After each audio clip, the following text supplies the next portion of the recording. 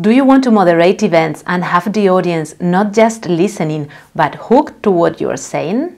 My name is Mariana Castaño Cano. I am a journalist and a communicator with over 20 years of experience, and one of my passions is to moderate impactful events. Now I want to share with you what I know so that you too can moderate events that are memorable for the audience and enriching for your panelists. The training consists of two hours, one for theory and one for practice, for you to learn the fundamentals of moderating and how to generate events that are both informative and inspiring. I will help you to walk through that door so that you can moderate events with the security that comes from preparation. All the information is on our website, 10 Billion Solutions Academy. Check it out and open the door to new opportunities.